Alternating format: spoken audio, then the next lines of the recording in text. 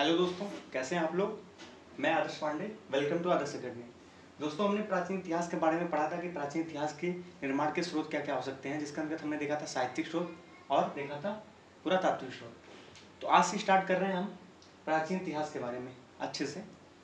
प्राचीन इतिहास को दोस्तों तीन भागों में बांटा गया है। प्रागैतिहासिक काल, यानी प्री हिस्ट्री आदि इतिहास, यानी प्रोटो हिस्ट्री और ऐतिहासिक काल, यानी हिस्टोरिकल एज यानी 600 बीसी के बाद का समय। दोस्तों, प्रागैतिहासिक काल प्रागैतिहासिक काल का मतलब ऐसा काल जहाँ पर लिपि नहीं थी, लिपि मौजूद नहीं थी। लिपि मौजूद नहीं होगी तो दोस्तों लेखन नहीं हो पाएगा, क्योंकि लिपि के द्वारा ही लेखन होता है। किसी चीज़ को हम जो लिख रहे हैं, जैसे हम हिंदी में कोई चीज़ लिखे हैं, प्राचीन लिखे हैं तो ये प्राचीन जो लिखा गया है, ये एक लिपि है। उस लिपि को कहते हैं, हिंदी के लिपि को देवनागरी लिपि। तो दोस्तों, ये देवनागरी लिपि में लिखा गया है। तो प्रागैतिहासिक काल में जब लिपि नहीं था, जब लिखने की कला ही मौजूद नहीं थी, लिखने का वो तरीका ही नहीं था तो लिखा कैसे जाता तो जब प्रागैतिहासिक काल यानी प्री हिस्ट्री में लिपि नहीं थी तो उस समय लेखन भी मौजूद नहीं था। जब लिपि और लेखन मौजूद नहीं था तो उस समय की जो है जानकारी सीमित रहेगी क्योंकि उस समय साहित्यिक स्रोत पाए नहीं जाते थे। और जो है आपके पुरातात्विक स्रोत भी कम पाए गए या ना ही पाए गए, ना के बराबर पाए गए। इसलिए उस समय सीमित जानकारी मौजूद थी। दोस्तों अगला है आदि इतिहास यानी प्रोटो हिस्ट्री। इस समय दोस्तों लिपि तो थी लिपि जो थी और लिपि रहने के बाद क्या था? लिखा भी गया। लिपि थी तो लेखन भी होगा लेकिन जो लिखी गई वो पढ़ा नहीं गया।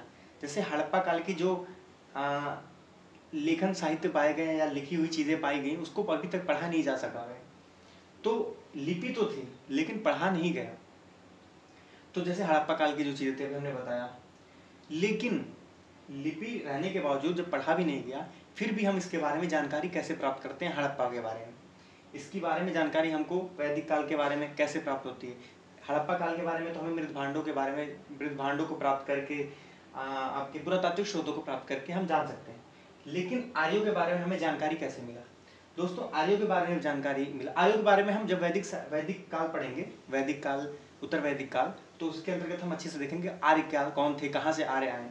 तो दोस्तों, जो आर्य थे वैदिक काल के अंतर्गत, उन्होंने अपने जीवन का प्रदर्शन इस प्रकार किया कि परिवर्तित समय, यानी बदलते हुए समय में, आगे बढ़ते हुए समय में, लोगों को उनके राजनीतिक, आर्थिक, सामाजिक, सांस्कृतिक और धार्मिक विश्वासों का पता चल सके कि वो किस प्रकार धार्मिक अपना कार्य करते थे, सामाजिक कार्य करते थे, कैसे वो कृषि करते थे, चीज़ों को कैसे करते थे। उन्होंने ऐसे अपने जीवन का प्रदर्शन किया आर्यों ने। तो वो हम पढ़ेंगे वैदिक काल के अंतर्गत। दोस्तों, आज इतिहास के अंतर्गत ही जो है कृषि उत्पादन अर्थव्यवस्था का विकास हुआ था। कृषि अर्थव्यवस्था का विकास हुआ था, कृषि उत्पादन अर्थव्यवस्था का विकास हुआ। दोस्तों, जब कृषि उत्पादन अर्थव्यवस्था का विकास हुआ तो उससे क्या हुआ कि अस्थायी बस्तियाँ जो है, अस्थायी बस्तियाँ बसने लगी।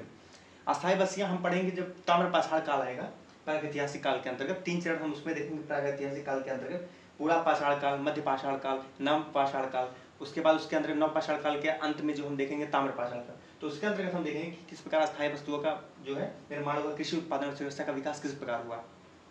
उसके बाद दोस्तों है ऐतिहासिक काल, यानी हिस्टोरिकल एज 600 बीसी के बाद हम देखेंगे।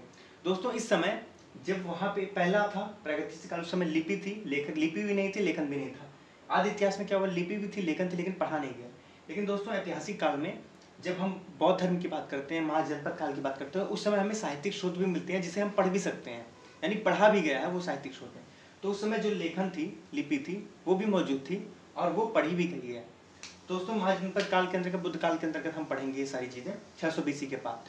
बौद्ध काल धर्म का जैन धर्म काल, जैन काल, ये सारी चीज़ें हम पढ़ेंगे ऐतिहासिक काल के अंतर्गत। दोस्तों, ये था चूँकि जो है व्हाइट बोर्ड आपका छोटा है तो इसमें सारी चीज़ें समाहित हो नहीं पा रही हैं और बोलेंगे तो वो अच्छे से समझ में नहीं आता जब तक आपको लिखा हुआ दिखाया ना जाए। तो दोस्तों, अगर कोई भी क्वेरी को प्लीज़ कमेंट इन में कमेंट बॉक्स आगे से हम स्टार्ट करते हैं प्रागैतिहासिक काल के बारे में। प्रागैतिहासिक काल को हम अच्छे से देखेंगे। उसके बाद हम देखेंगे दोस्तों ताम्र पाषाण काल के अंतर्गत कुछ संस्कृतियाँ देखेंगे। उसके बाद हम स्टार्ट करेंगे हड़प्पा संस्कृति, जिसे सैंधु सभ्यता कहते हैं। सिंधु घाटी सभ्यता कहते हैं। थैंक यू दोस्तों।